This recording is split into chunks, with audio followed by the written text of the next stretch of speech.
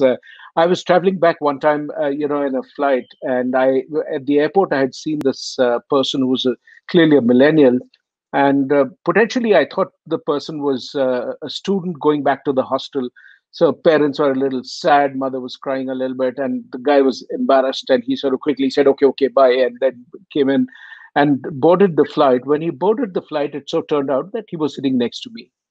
and then I turned back and asked him that, uh, oh, it's uh, you're going to the hostel. He says, no, no, no, I'm uh, going to a new to take up a new job.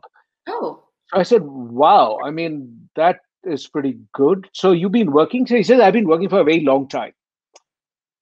So I said, really, you look incredibly young because, you know, I would have never thought that you work for a very long time. He says, yeah, I've been working now for what, six months now.